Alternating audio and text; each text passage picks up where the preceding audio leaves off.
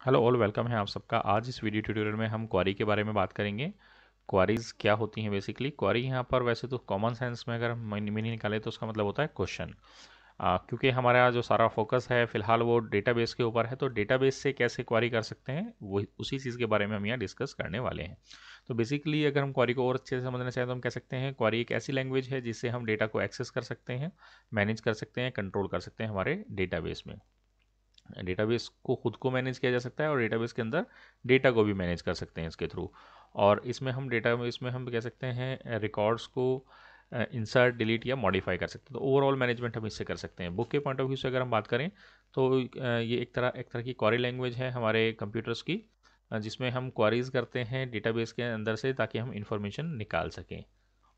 तो यही सब कुछ है बेसिकली डेटा को मैनिपुलेट करने के लिए हम इसका यूज़ करते हैं। कैसे यूज़ करते हैं?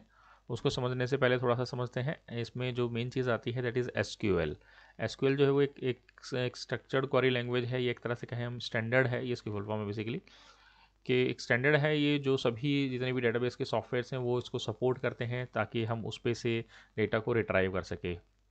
वैसे तो हर सॉफ्टवेयर का जैसे ओरेकल है या डी टू है या आपका माइक्रोसॉफ्ट एसक्यूएल सर्वर है एक्सेस एस ओपन ऑफ़िस का बेस है लिवर ऑफ़िस का बेस है सबका अपना अपना तरीका है ग्राफिकली डाटा को मैनेज करने का। बट कई बार एप्लीकेशन में हमें बैकेंड में यूज़ करनी पड़ जाती है डेटा डेटाबेस को तो हम वहाँ पर ये एसक्यूएल यूज़ करते हैं बेसिकली तो इसमें हमारे पास जो बहुत सारी कमांड्स हैं, उनकी कुछ कैटेगरीज हैं, जैसे D D L D M L D C L D Q L तो ये भी थोड़ा सा आपको आइडिया होना चाहिए क्या होती हैं। अगर थोड़ी सी और डिटेल में बात करें तो हमारे पास डी डी एल के अंदर क्रिएट ऑल्टर ड्रॉप ट्रंकेट आ कमांड्स आती हैं। ये वो कमांड्स होती हैं जिसके थ्रू हम डेटाबेस का जो स्ट्रक्चर है या टेबल का जो स्ट्रक्चर है उसको बना सकते हैं या उसमें को डिलीट कर सकते हैं या उसमें कुछ ऑल्ट्रेशन कर सकते हैं, कुछ मॉडिफिकेशन करनी है। जैसे हम एक्सेल के अंदर, हम टेबल के अंदर जो हेडिंग रो बनाते हैं, वो हमारा टेबल का स्ट्रक्चर होता है जिसमें बताते हैं कितने कॉलम्स होंगे, क्या डाटा टाइप्स होंगे। तो वो सब बनाने के लिए हम यहाँ पर ये D D L commands use करते हैं। ऐसी डी कमांड में हमारे पास इंसर्ट अपडेट डिलीट कमांड आती हैं। ये बेसिकली यूज़ होती हैं हमारे डेटाबेस बना लेने के बाद उसके अंदर रिकॉर्ड्स ऐड करने के लिए कोई अपडेट करना है या डिलीट करना है उसके लिए। इसके बाद हमारे पास डीसीएल कमांड आती है, जिसमें ग्रांट और रिवोक कमांड्स होती हैं। जब हमारे पास डेटाबेस में कई बार ऐसे भी होता है, बहुत सारे अलग अलग तरह के यूज़र्स होते हैं। सब यूज़र को सारे डेटाबेस पे सारे एक्सेस नहीं होता है। तो कितना एक्सेस किसको होना चाहिए, वो हम इन ग्रांट और रिवोक कमांड से बनाते और वापस लेते हैं। हमारे पास इसके अलावा जो सबसे इंपॉर्टेंट कमांड है that is D K O L that is data query language इसमें एक ही कमांड आती है सेलेक्ट कमांड और ये यूज़ होती है डेटाबेस में से डेटा को फैच करने के लिए। क्योंकि सबसे ज़्यादा क्वारीज जो किसी डेटाबेस पे रन होती हैं, वो सेलेक्ट करने की ही होती हैं। आप अपने लेवल पे सोचिए कि कितनी बार आप अमेजन या फ्लिपकार्ट पे जाके प्रोडक्ट एक्चुअल में परचेज़ करते हैं, और कितनी बार आप सिर्फ़ प्रोडक्ट को सर्च कर लेते हैं। यानी परचेज़ नहीं करते हैं जैसे जाते हैं सर्च करते हैं, वापस आ जाते हैं। तो आप जो एक्चुअल में डाटा फैच कर रहे होते हैं वहाँ पर वहाँ पर सेलेक्ट कमांड ही रन हो रही होती है। तो टोटल अगर ओवरऑल में एक दिन के अंदर अगर एक लाख प्रोडक्ट सर्च किए तो एक लाख प्रोडक्ट अगर किसी ने परचेज हुए हैं टोटल अमेजन के ऊपर तो एक करोड़ क्वारीज जो हैं वो सेलेक्ट की रन की हुई होती हैं। यानी बहुत सारे लोग हैं जो सिर्फ़ रन करके देख कर आ जाते हैं प्रोडक्ट तो सेलेक्ट कमांड जो है वो सबसे ज़्यादा यूज़ होती है डेटा को। फैच करने के लिए। तो इसलिए हमारा मेन फोकस इसी पे है। इसके अलावा और भी बहुत सारे कमांड्स जो हैं, वो थोड़ा थोड़ा इंट्रोडक्शन मैंने इससे पहले एक वीडियो बनाई थी, उसमें दिया हुआ था। इस वीडियो का लिंक जो है, मैं आपको डिस्क्रिप्शन में भी दे दूँगा, वहाँ से आप क्लिक करके इसको एक बार देखिएगा ज़रूर इस वीडियो के बाद, ताकि आपको एक आइडिया लग जाए कि हाँ भाई, ये कमांड्स इस तरीके से डेटा पे अलग अलग ऑपरेशन परफॉर्म करने के लिए यूज़ की जाती हैं। बाकी हम इस पर जो फोकस करेंगे बेसिकली सेलेक्ट कमांड पर फोकस करेंगे। सेलेक्ट कमांड का जो सिंटेक्स होता है, यानी लिखने का तरीका एग्ज़ाम में आ सकता है सिंटेक्स पूछ सकता है वो। तो यहाँ पर हम लिखेंगे select star from table name table में जो ब्रैकेट्स दिए हुए एक्चुअल में लगाते नहीं है। ये सिर्फ़ सिंटेक्स बताने का तरीका होता है कि हाँ भाई, ऐसे लिखी जाती है। एग्ज़ाम्पल अगर हम देंगे तो यहाँ लिख सकते हैं सेलेक्ट स्टार फ्रॉम एम्प्लॉई तो यहाँ पर जो एम्प्लॉई है, वो एक्चुअल में टेबल का नाम है। तो सिंटेक्स ये बता रहा है कि वो क्या चीज़ है? वो टेबल का नाम है। यहाँ पे एम्प्लॉय जो है, वो एक टेबल है। ऐसे ही इसमें हम यहाँ लगा सकते हैं select star from table name where condition अब यहाँ पर हम वेयर के साथ कंडीशन दे सकते हैं, जैसे select star from employee where salary equals to sorry salary greater than twenty five thousand यानी हम उन एम्प्लॉयज़ के रिकॉर्ड्स देखने चाहते हैं जिनकी सैलरी पच्चीस हज़ार से ज़्यादा है। इसी तरीके से हम कमांड चला सकते हैं सेलेक्ट कमांड को select star from table name where condition and order by column name यानी हमें कंडीशन के साथ जो है वो देखने हैं, लेकिन हमें ऑर्डर भी चेंज करना है। बाय डिफ़ॉल्ट जिस ऑर्डर में रिकॉर्ड ऐड किए वही आता है बट हम उसके ऑर्डर को चेंज करके देख सकते हैं। तो ये चीज़ें आप कुछ कुछ आपको याद आ रहा होगा आपने अमेजन फ्लिपकार्ट ये चीज़ की हुई है, लेकिन अलग तरीके से। तो बैक में कैसे काम होता है, वो सब चीज़ें आप यहाँ से सीख सकते हैं। इसी तरीके से कमांड है select column one column two column three यानी यहाँ तो बहुत सारी इन्फॉर्मेशन है प्रोडक्ट से रिलेटेड बहुत सारी इन्फॉर्मेशन है या किसी भी चीज़ से रिलेटेड एम्प्लॉय से रिलेटेड बट हम सारी इन्फॉर्मेशन नहीं देखना चाहते। स्टार का मतलब होता है सारी इन्फॉर्मेशन देखना चाहते हैं। अब एक कॉलम में एक टेबल के अंदर पचास कॉलम भी हो सकते हैं, दस भी हो सकते हैं, बीस भी हो सकते हैं बट हमें तीन कॉलम ही देखने तो हम यहाँ पर बताएँगे दैट हमें जो देखने हैं select name comma I D comma salary यानी तीन ही चीज़ें देखनी है एम्प्लॉय टेबल में से। तो हो सकता है ऐसे आपको समझ में ना आए तो एक बार हम ओपन ऑफ़िस बेस में इसका प्रैक्टिकल करके देखते हैं कैसे किया जाता है। ये हम आ गए हैं हमारे ओपन ऑफ़िस बेस में। यहाँ हमने ये दो टेबल्स बनाई हुई हैं, इसमें डेटा एंटर किया हुआ है। डेटा कैसे एंटर किया जाता है या डेटा केस बनाते हैं, ये मैंने इससे पहले वाली वीडियो में आपको बताया। अगर वो आपने नहीं देखी है तो एक बार देख लीजिएगा ताकि आपको ठीक से आइडिया हो जाए। अब बात करते हैं इसमें हम क्वारीज कैसे रन करते हैं? अगर हमें क्वारीज रन करनी है तो आप जैसे मैंने इसमें बहुत सारे रिकॉर्ड ऐड किए, जितने ज़्यादा रिकॉर्ड्स होंगे उतने अच्छे से आप क्वारी चला पाएँगे, क्योंकि ज़्यादातर डेटाबेस में बहुत बहुत हज़ारों, लाखों करोड़ रिकॉर्ड्स होते हैं, जिसमें से हम कुछ हंड्रेड या कुछ सिलेक्टेड रिकॉर्ड्स देखना चाहते हैं, इसलिए हम क्वारी रन करते हैं कि हमें सारे रिकॉर्ड्स नहीं देखने, हमें सिलेक्टेड रिकॉर्ड्स देखने हैं। तो उसके लिए हम कैसे क्वारी रन करेंगे, वो चेक करते हैं। यहाँ पर हमारे पास ये आपका जो है लेफ़्ट साइड में हफ़्ता चार सेक्शंस हैं table queries forms and reports तो आज हम बात कर रहे हैं क्वारीज की। क्वारीज पर क्लिक करेंगे तो यहाँ हमारे पास तीन ऑप्शन हैं। Design view create query and SQL view design view आपके बुक में है बट थोड़ा सा इंट्रोडक्शन दिया हुआ है। कैसे यूज़ करते हैं इसको हम अलग से वीडियो में देखेंगे। अभी फ़िलहाल मेन फोकस हमारा क्वारीज के ऊपर है।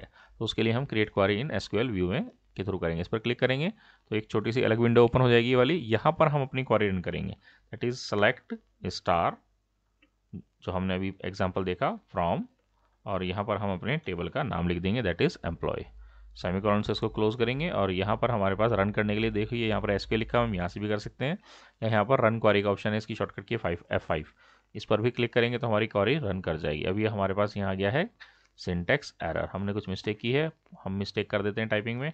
जैसे फ्रॉम की स्पेलिंग जल्दी जल्दी में हमने गलत कर दी। दोबारा से रन करते हैं तो देखिए हमारे पास यहाँ रिकॉर्ड्स आ गए।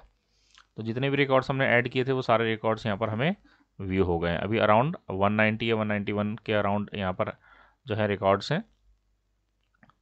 तो ये इन रिकॉर्ड्स में हम ये तो भी सारे ही आ रहे हैं बट हम सारे नहीं देखना चाहते।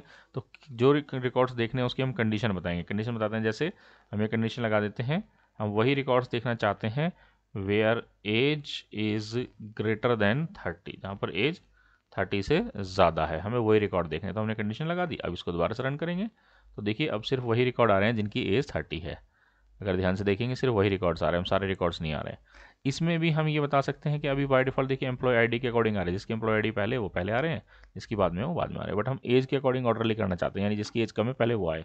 तो हम यहाँ लिख देंगे ऑर्डर बाय ऑर्डर बाय और एज हम एज के अकॉर्डिंग देखना चाहते हैं। सॉर्ट सॉर्टिंग बोल देते हैं इसको बेसिकली तो यहाँ पर लगाने के बाद हम रन करेंगे। तो देखिए अब एज के अकॉर्डिंग आ रहे हैं। जिसकी एज कम है, पहले वो रिकॉर्ड आ रहे हैं, फिर जिसकी ज़्यादा है, वो बाद में आ रहे हैं। इसमें भी हम ये बताना चाहते हैं कि डिसेंडिंग ऑर्डर में असेंडिंग ऑर्डर में आ रही है बाई डिफ़ॉल्ट हम चाहते हैं कि जिसकी एज ज़्यादा है, पहले वो रिकॉर्ड आए। तो हम यहाँ पे उसके एंड में लिख देंगे D E S C D E S C descending order का शॉर्ट फॉर्म है तो डी ई एस सी लिख देंगे तो अब इसको रन करेंगे। अब हमारे पास, ये देखिए डिसेंडिंग ऑर्डर में आ रहा है। एटी टू पहले आ रहा है फिर उसके बाद एटी वन फिर सेवेंटी टू यानी जिसकी ये ज़्यादा है, उसका नाम पहले आ रहा है। तो इस तरीके से हम ऑर्डर चेंज कर सकते हैं। और ज़रूरी नहीं, हमने एज के अकॉर्डिंग कंडीशन लगाई तो हम एज पे ही के ही अकॉर्डिंग इसको अरेंज करेंगे। हम चाहें तो इसको जो है अरेंज कर सकते हैं सैलरी के अकॉर्डिंग यानी सैलरी जिसकी कम है, पहले वो रिकॉर्ड आए, और फिर आपके देखिए यहाँ पर बारह हज़ार, तेरह हज़ार, चौदह हज़ार, उन्नीस हज़ार, बाईस, तेईस तेईस, चौबीस, अब यानी सैलरी के अकॉर्डिंग आ रहा है। अब इसमें भी अगर हम डिसेंडिंग ऑर्डर में कर देंगे जिसकी सैलरी ज़्यादा है पहले, वो रिकॉर्ड्स आएँगे, देखिए। तो हम सैलरी के अकॉर्डिंग कर लिया हमने। अब हम चाहें तो ये नेम के अकॉर्डिंग भी कर सकते हैं। N E M E name and run यहाँ हमारे पास एरर आ गई। क्यों आई एरर यहाँ पर एक्चुअल में जो हमारा टेबल है, उसमें फ़ील्ड नेम से नहीं है। कॉलम का नाम, जहाँ नाम लिखे हुए सबके, उसका नाम है ई एम पी और कैपिटल में है ये। एन जो है कैपिटल में है, ये ऐसे ही टाइप करना है। ये थोड़ा सा ध्यान रखना है। तो यहाँ पर आप देखिए एम्प्लॉई नेम ये कॉलम का जो नेम आ रहा है, ये same as it is type करना है यहाँ पर। यानी हमने अब नेम के अकॉर्डिंग देखिए पहले अल्फ़ाबेटिकली आ गए, जिनके ए से नाम है पहले वो, फिर बी पी सी डी इस तरीके से। तो हम कंडीशन किसी भी कॉलम पे लगाए, हम ऑर्डर अपने अकॉर्डिंग लगा सकते हैं चेंज कर सकते हैं। तो हम इस तरीके से कंडीशन भी दे सकते हैं और आपका ऑर्डर भी चेंज कर सकते हैं। अब यहाँ पर जो ये स्टार लगा हुआ है स्टार का मतलब है हमारे पास, अभी फ़िलहाल मैंने छोटा सा टेबल बनाया था तो इसमें पाँच ही कॉलम थे, बट मुझे पाँच कॉलम या पचास कॉलम जो भी है, वो नहीं, देखने में तीन ही कॉलम चाहिए मुझे। सारे फ़ील्ड चाहिए नहीं तो मैं यहाँ बता दूँगा, मुझे एज चाहिए, मुझे सैलरी चाहिए। और इसको रन करेंगे। देखिए, सिर्फ़ एज और सैलरी दो ही चीज़ें आ रही हैं। और ज़रूरी नहीं है इसका ऑर्डर कुछ भी हो, पहले से कोई भी ऑर्डर हो, हम यहाँ पर जब देंगे तो हम कोई भी दे सकते हैं। मुझे आईडी और सैलरी चाहिए। अभी ये एरर दे जाएगी, क्योंकि आईडी एग्जैक्टली आईडी के नाम से नहीं है वहाँ पर। यह है ई एम पी और कैपिटल में आई डी तो जिस और जो हमने वहाँ पर यूज़ किया है वही सेम ऑर्डर यहाँ पर ऐसा क्या है फॉर्मेट हमें यहाँ यूज़ करना है। इसको रन करके देखते हैं। देखिए पहले एम्प्लॉय आईडी आ रही है और फिर सैलरी आ रही है। तो इस तरीके से हम अरेंज कर सकते हैं। आ, बहुत इजीली इसको प्रैक्टिस करके देखिएगा। नहीं समझ में आता है तो आप कमेंट्स में पूछ सकते हैं। एक बार दोबारा इसको लाइव क्लास में डिस्कस कर लेंगे। तो इसको आप यहाँ ओपन ऑफ़िस बेस में भी ट्राई कर सकते हैं और नहीं होता तो जो जो ऑनलाइन भी काफ़ी सारे ऐसे टूल्स हैं, जहाँ पर आप इसकी प्रैक्टिस कर सकते हैं। इसके अलावा बुक में एक और कमांड दी हुई है अपडेट कमांड के बारे में थोड़ा सा इंट्रोडक्शन दिया हुआ है, जो कि रिकॉर्ड्स अपडेट करने के लिए यूज़ की जाती है। यानी पहले से हम कुछ एंट्री कर चुके हैं, अब हमें कुछ और उसमें मॉडिफिकेशन करनी है। तो ये बेसिकली उसका सिंटेक्स है, जैसे हम पहले अपडेट लिखेंगे, फिर टेबल का नाम लिखेंगे, फिर हम सेट लिखेंगे, फिर उसके बाद हम ये बताएँगे किस कॉलम की कौन सी वैल्यू सर्च करनी है और उसकी जगह वहाँ पर क्या लगाना है, क्या उसकी नई वैल्यू होनी चाहिए। तो इसको लगाने के लिए एक बार एग्ज़ाम्पल देख लेते हैं, जैसे अपडेट कमांड चलाने के लिए हमें जो ये वाला व्यू है, ये काम नहीं करेगा बेसिकली तो उसके लिए हम टूल्स में जाएँगे और यहाँ पर हमारे पास एस है। यहाँ हम कमांड लिखेंगे that is update and employee set age equals to, say, यहाँ पर मैं देता हूँ that I want age 22 where employee ID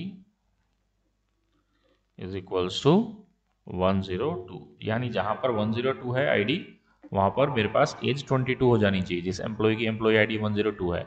इसको एग्जीक्यूट करूँगा अभी मैं तो एरर आ जाएगा। क्यों आएगा एरर बहुत माइनर सी मिस्टेक है। एग्ज़ाम के लिए थ्योरी पेपर के लिए ठीक है बट अगर आप प्रैक्टिस कर रहे हैं और फिर कहीं भी एरर आ रहा है उसकी वजह यह है कि यहाँ पर ये, ये जो नेम आ रहे हैं मेरे टेबल का और मेरी फील्ड्स का इनको मुझे डबल कोर्ट्स में देना पड़ेगा। ये इसी तरीके से इसको एक्सेप्ट करता है बेसिकली तो यहाँ पर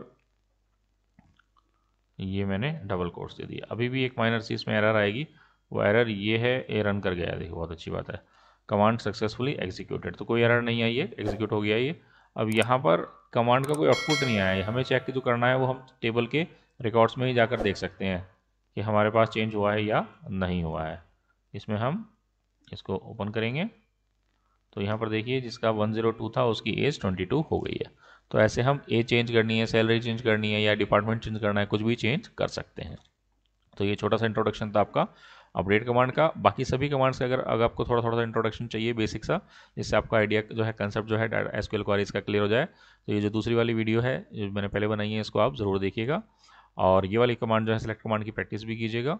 और क्योंकि एग्ज़ाम में ये आ सकती है, काफ़ी इंपॉर्टेंट है ये। इस वीडियो में इतना ही। इसके बाद नेक्स्ट वीडियो में हम जो है फॉर्म्स एंड रिपोर्ट्स के बारे में देखेंगे कि फॉर्म्स और रिपोर्ट्स क्या होती हैं और कैसे और क्यों बनाते हैं। इस वीडियो में इतना ही। Thank you very much